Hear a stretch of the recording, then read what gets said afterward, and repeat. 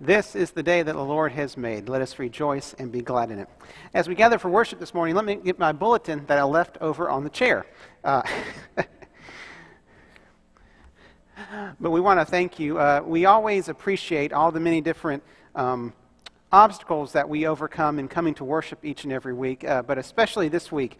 And we want to thank you for really toughing it out and hanging with it as we uh, navigate the different road closures around the church campus. So, whether you're a longtime member or a first time visitor, thank you so much for navigating the road closures to be with us this morning as we worship our Lord and Savior, Jesus Christ. As we gather this morning, a couple of announcements for our church family to be reminded of. Uh, first up, we'll have a video and worship later, but just wanted to remind everybody about Operation Christmas Child. And please do pay attention to the bulletin insert that you got this morning as you came in. All the relevant information you need to participate is included in that, and we hope that you'll help us spread the good news of Jesus all over the world by participating in that project. Uh, second of all, next Saturday, November the 13th, uh, we'll be having a morning of service over at Welcome House Raleigh and supporting our refugee friends as they get settled. So we'll be doing a lot of yard work, uh, some basic uh, house maintenance and some other things, but we would certainly appreciate you signing up online to give us a sense of numbers. So you can do that at foresthills.org slash events, and all the information that you'll need to see about location and times and other things will be listed there, and I'll be reaching out to those who have signed up by midweek with a little bit more information and the type of tools and things that we'll need to bring. Also, I didn't want to forget this, so I got my cell phone and took a picture of the email Kep sent me because I wanted to make sure I got all this right in sharing this with you. Uh, but we have some good news that comes along with a very, very important ask to you, our church family. So I'll read per Kep's instructions. As we continue our return back to our regular programming, we have some exciting news to share from our children's ministry. Over the last several weeks, we have continued to grow in numbers and presence in our toddler classroom and our K 5 classroom. This is an exciting milestone and, and moment for our children's ministry and for us as a church.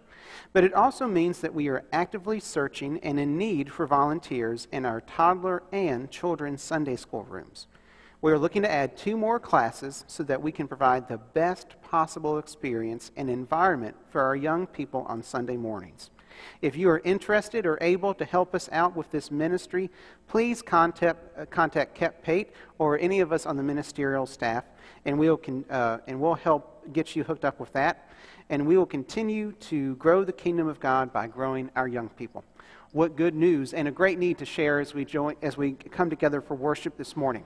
And as we do come together, let's lift our voices by joining in our call to worship. God of all creation. We,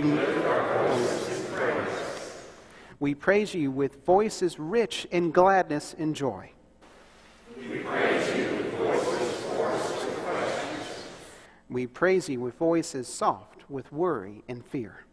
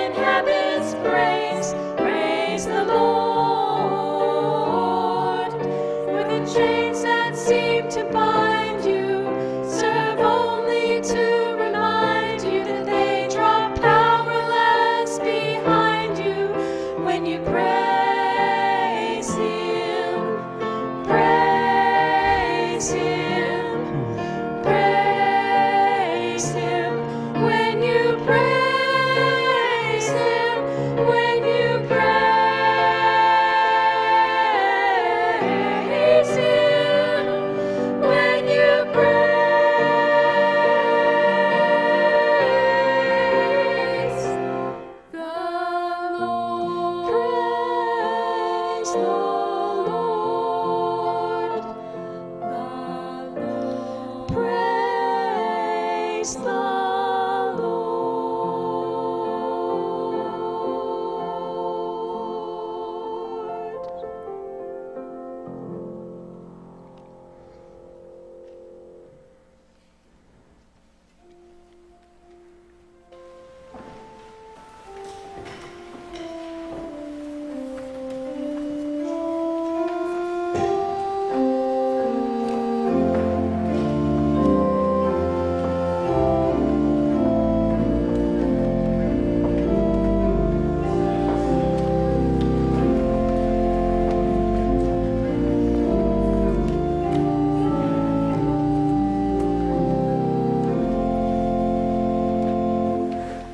praise to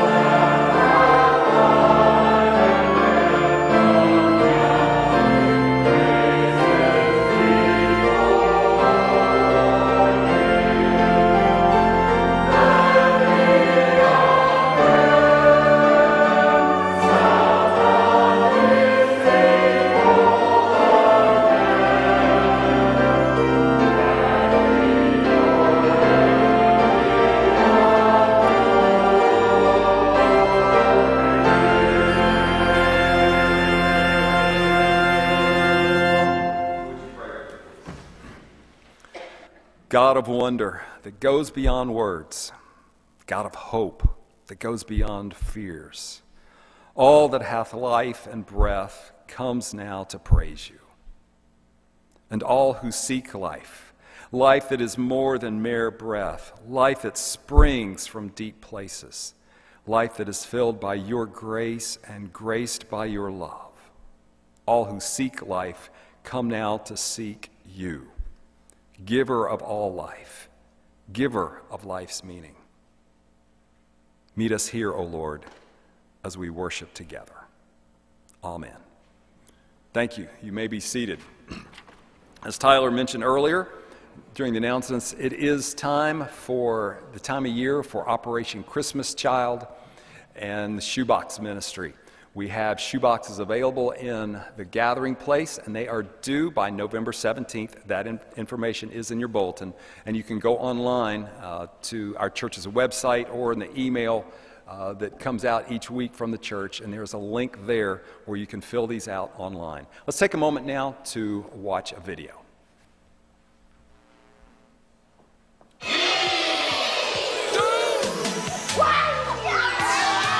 The joy of seeing a child open the boxes for the first time is just, it's incredible.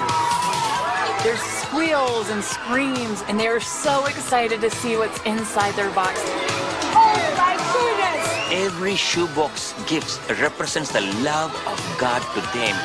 We are so excited. Many of the children receive the shoebox for the first time in their life. We're here with Operation Christmas Child. The kids are so excited.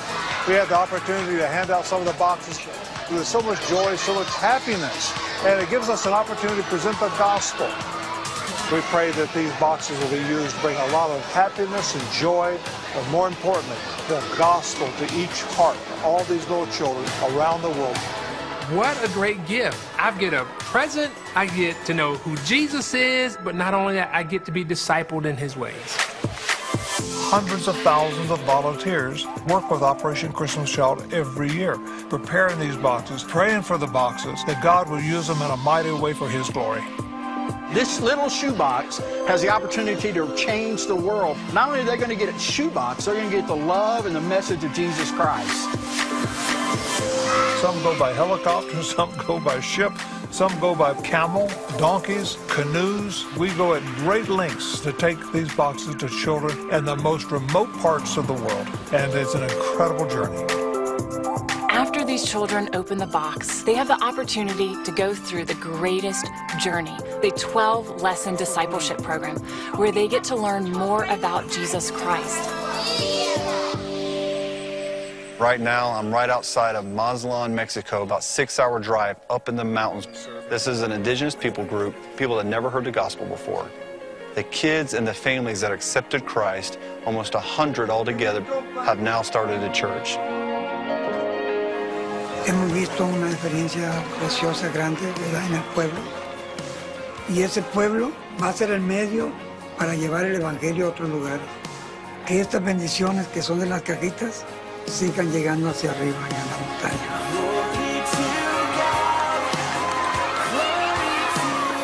This shoebox gives us an opportunity to continue to shine the bright light of the gospel in the darkest and remote places around the world. We're seeing families come to know Jesus. Churches are sprouting up in these communities. These children are rising up to be disciples in their own country.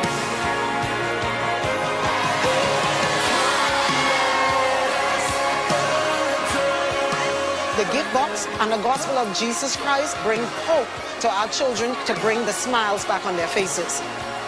No greater need and no greater time than right now for us to go out and serve boldly. This is what these shoe boxes are all about to go out and to bring a hope of Jesus Christ around the world. I'm just so amazed at what God does each and every year. This is an opportunity to impact the lives of millions of children, just like you've seen. But we need more boxes for next year. Every box is an opportunity for us to share the gospel of Jesus Christ. So thank you. And God bless each and every one.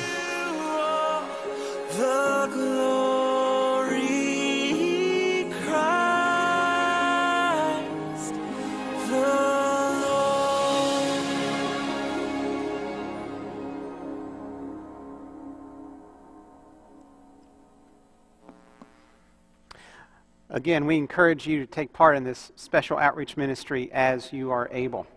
Uh, as we come to our time of scripture reading this morning, we are continuing in our sermon series, An Unfolding Story, as we move throughout the narrative of the Bible. And as we've done for many weeks at this point, we've been trudging through the story of God's people, the, the story of the people of Israel.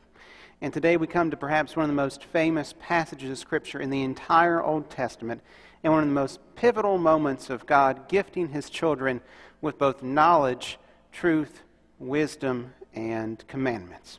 So, if you have your Bibles, let me invite you to turn with me as we read Exodus chapter 20, verses 1 through 21, the giving of the Ten Commandments. Beginning in verse 1. And God spoke all these words I am the Lord your God who brought you out of Egypt, out of the land of slavery. You shall have no other gods before me. You shall not make for yourself an image in the form of anything in heaven above, or on the earth beneath, or in the waters below. You shall not bow down to them or worship them. For I, the Lord your God, am a jealous God, punishing the children for the sin of the parents to the third and fourth generation of those who hate me, but showing love to a thousand generations of those who love me and keep my commandments. You shall not misuse the name of the Lord your God, for the Lord will not hold anyone guiltless who misuses his name. Remember the Sabbath day by keeping it holy. Six days you shall labor and do all your work, but the seventh day is a Sabbath to the Lord your God. On it you shall not do any work, neither you nor your son or daughter, nor your male or female servant, nor your animals, nor any foreigner residing in your towns for in six days the Lord made the heavens and the earth, the sea and all that is in them, but he rested on the seventh day. Therefore the Lord blessed the Sabbath day and made it holy. Honor your father and your mother, so that you may live long in the land the Lord your God is giving you. You shall not murder. You shall not commit adultery. You shall not steal. You shall not give false testimony against your neighbor. You shall not covet your neighbor's house. You shall not covet your neighbor's wife, or his male or female servant, his ox or donkey, or anything that belongs to your neighbor.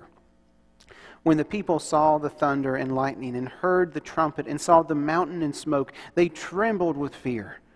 They stayed at a distance and said to Moses, Speak to us yourself, and we will listen. But do not have God speak to us, or we will die. Moses said to the people, Do not be afraid. God has come to test you, so that the fear of God will be with you to keep you from sinning. The people remained at a distance, while Moses approached the thick darkness where God was. Would you pray with me? God, how blessed we are by your word. How blessed we are by your presence and how blessed we are by the commandments, commitments, and promises you make to us, as well as those that you ask of us in return. Lord, we know that even though it might sound like a long list of do nots and avoids and all those other things, Lord, we know that you are creating for us a pathway to peace with yourself and one another. You're creating for us the blueprint of a life worth living, a life that is full, free, and faithful. So, God, as we reflect on the commandments you gave to your children Israel, and as we reflect on the responsibilities given to us today, may we be your people enthusiastically each and every moment of each and every day, so that we might find and live the best life possible.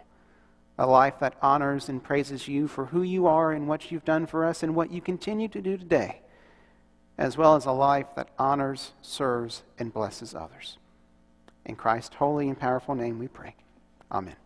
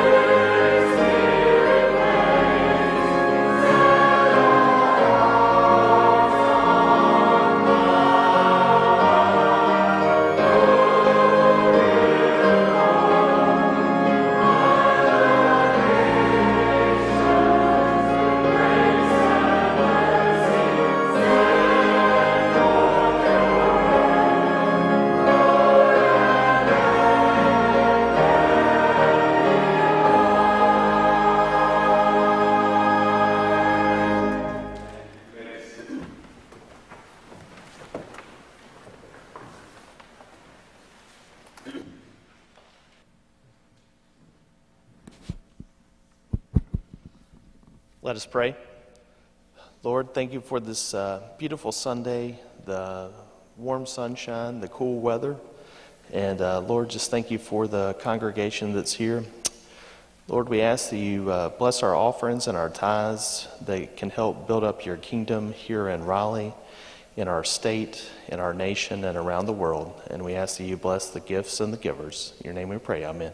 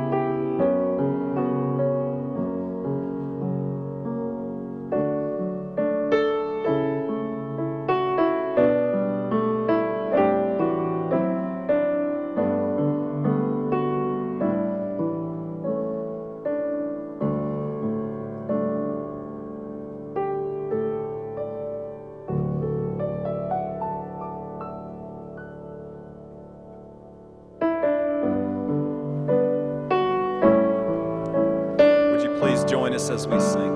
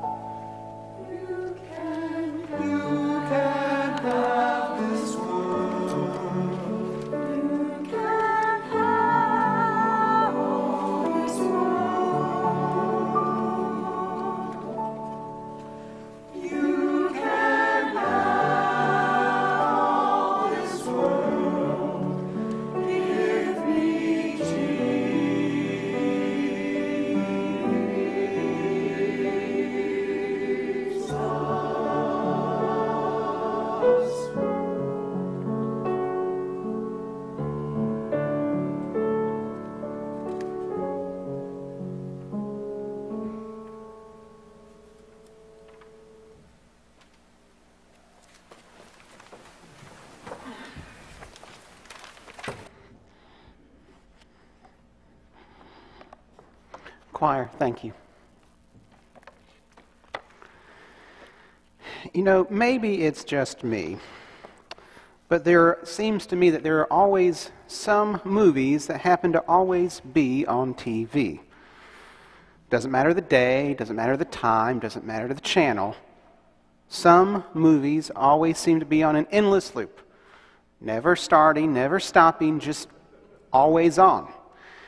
One of those movies is The Shawshank Redemption. Now, call me crazy, but I'm pretty sure I've found this movie on TV every weekend since middle school.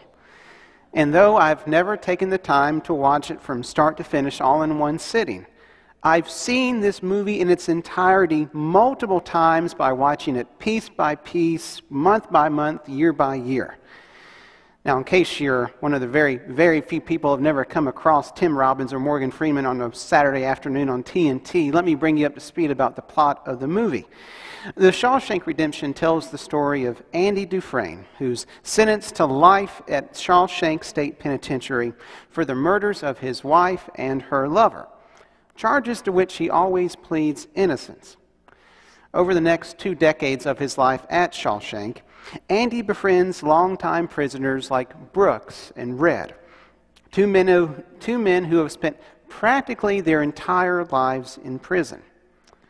Well, after serving 50 years at Shawshank, one of those men, Brooks, he's paroled and set free into a world that looks nothing like the one he left behind.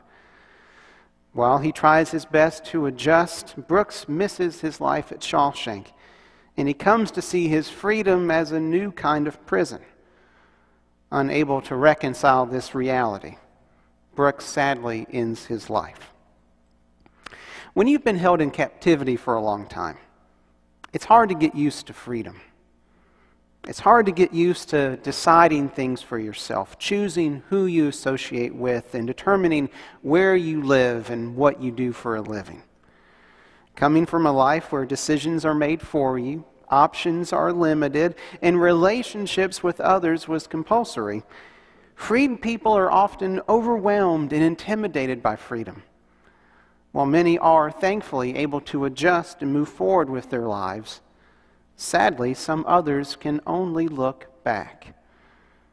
Doing so often makes us nostalgic for what was, even if it wasn't all that great to begin with in spite of desiring new things.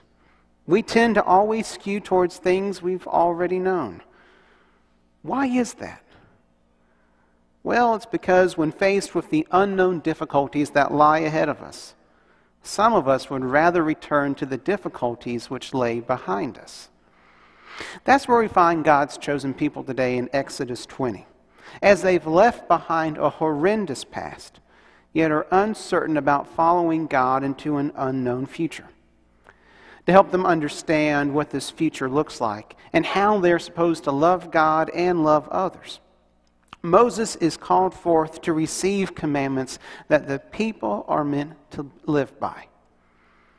In order to appreciate today's story out of Exodus 20, it's important for us to remember just how far the Israelites have come by this point in the larger story. By this point in time, God has rescued his people from captivity in Egypt, and he's leading them towards the promised land. But they're not there yet. You see, they're on the path to freedom, but they've got a ways to go.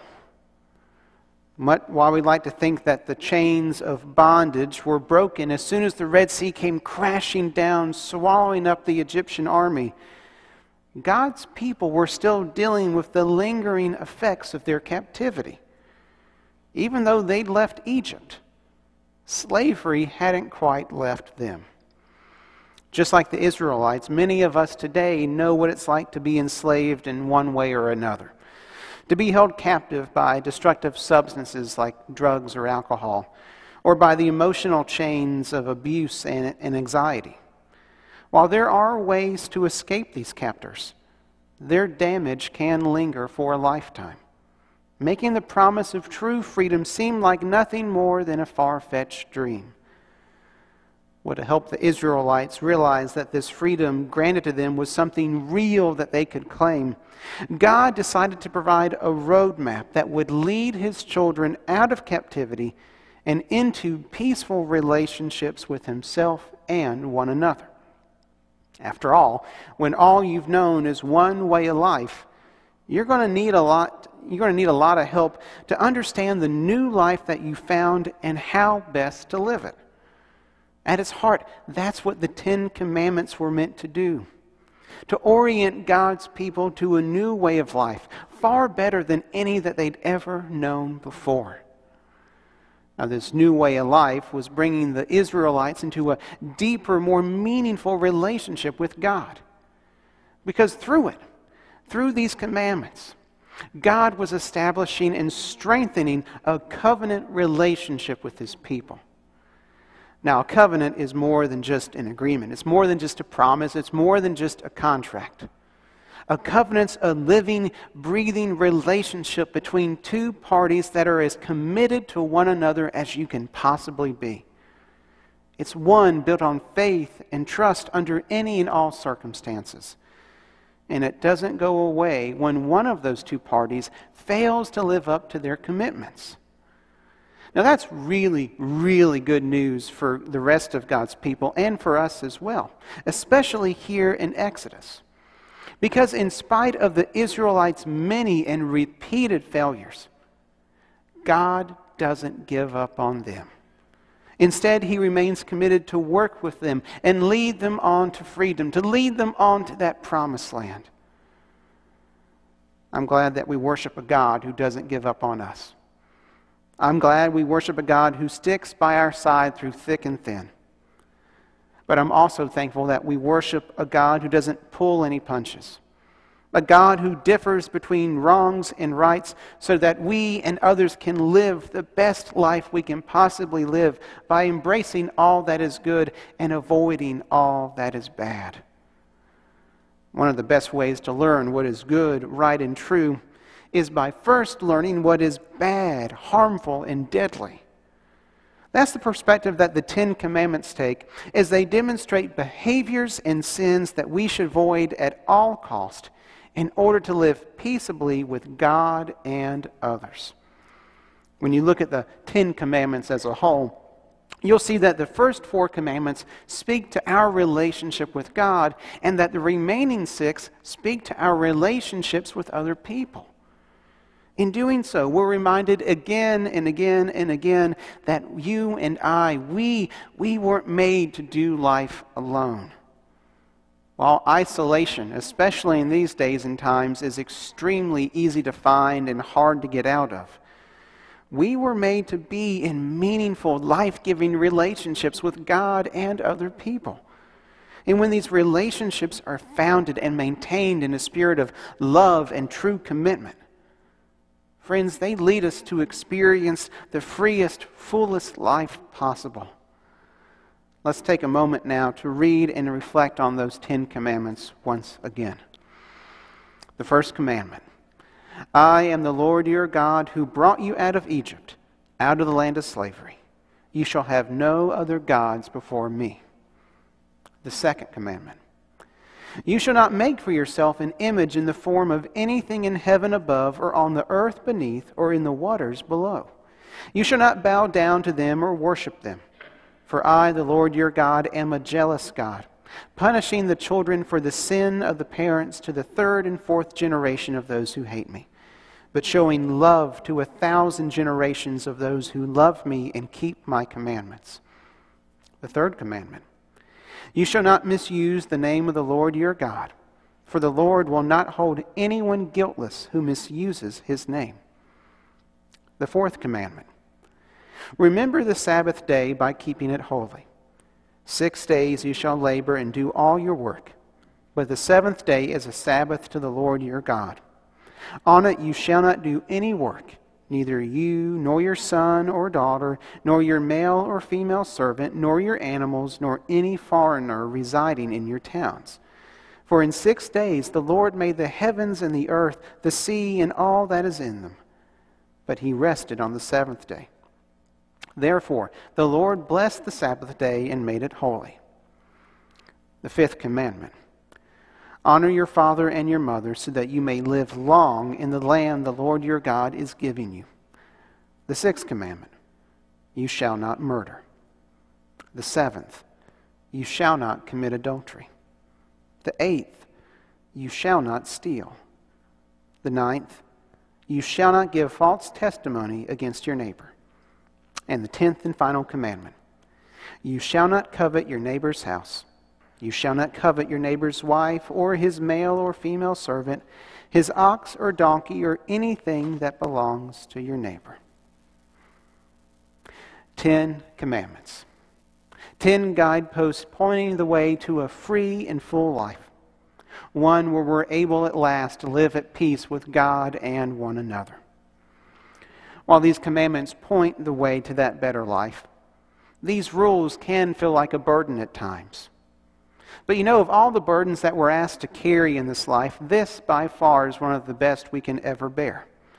For by giving us these commandments to live by and to structure our lives around, God's using them to shape who we are, to shape our character, and to shape our witness to the world around us. You know, in a world that's increasingly any, with an increasingly anything goes attitude, it's important for us to remember what's most important for free, full, and faithful life. And that life isn't found by being a slave to politicians, power, money, or pride. Instead, it's found by humbling ourselves before God our Father and by giving ourselves away in service to others. That's why it's important for us to remember and honor that which is holy to worship the Lord our God, and to serve our brothers and sisters who are made in his image just as we are too. You know, even though we're no longer bound to follow the letter of the law because of our faith in Christ, who in his own right is the fulfillment of the law, we're nonetheless called to continue living by the Spirit of the law. For as we hear in Matthew 22, verses 36 through 40, Teacher, which is the greatest commandment in the law? Jesus replied, Love the Lord your God with all your heart, and with all your soul, and with all your mind. This is the first and greatest commandment. And the second is like it love your neighbor as yourself. All the law and the prophets hang on these two commandments. When we give God everything we have, He'll give us more than we can possibly imagine. And we're to use those blessings and those gifts to honor God and to bless others. After all, the fruits of a full, free, and faithful life aren't meant to be hoarded and stored up. Rather, they're meant to be enjoyed and shared freely with others so that they may come to know and experience for themselves the freedom, joy, and hope that's found through a relationship with Jesus Christ.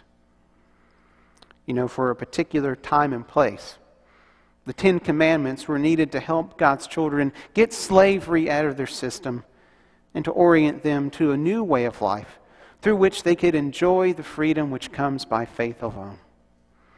While you and I aren't bound to these commandments in the same way that the Israelites were, they are nonetheless commandments worth keeping.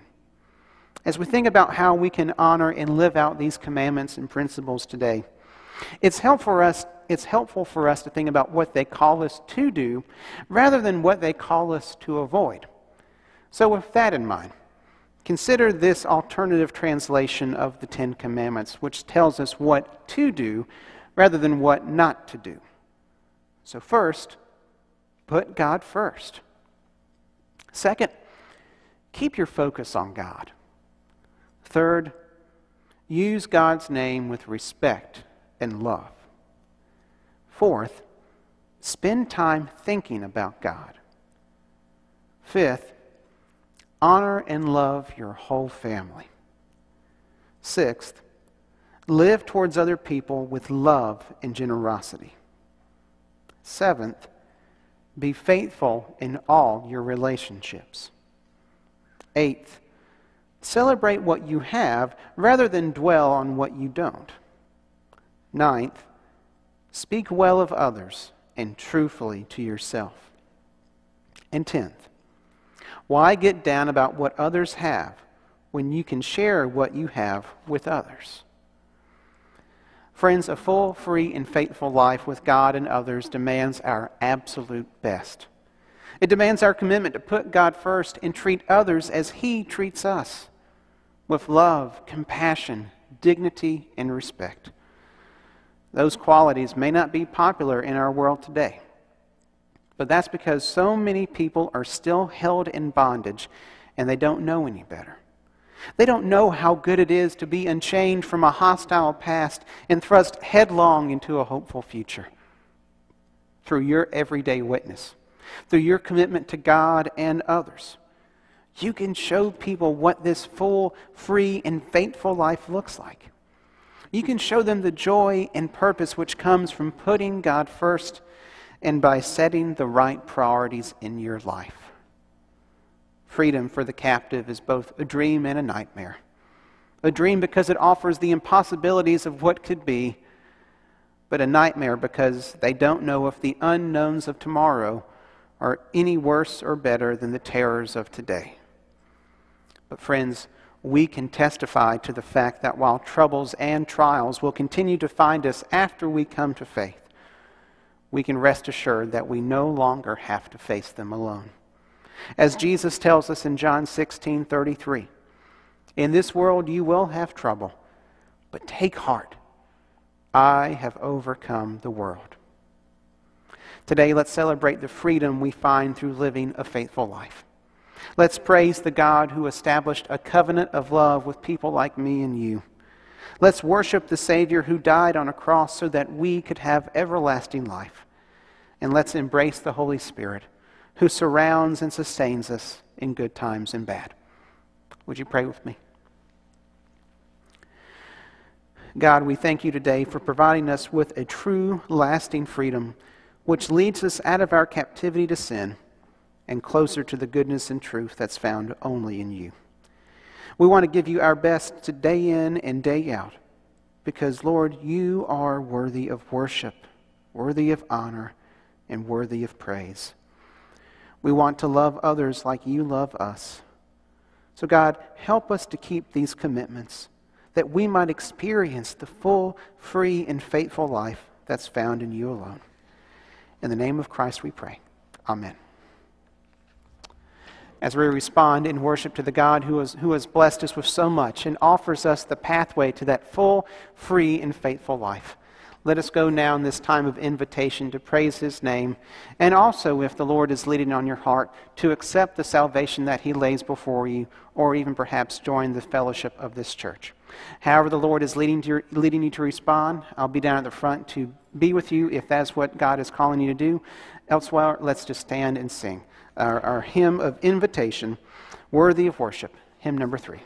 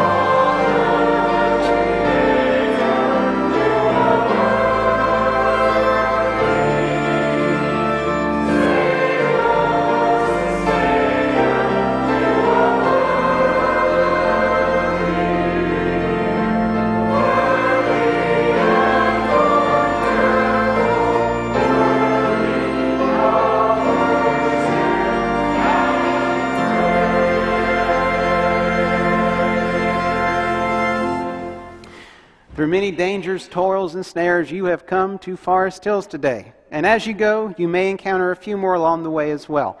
Uh, but as you go, know that God goes with you to love and lead you into a life worth living, a life that is full, free, and which beckons you into greater faithfulness in the God who has provided for you and provides for you still. Go now to honor his name and to bless those you come into contact with. We hope to see you next week. Take care.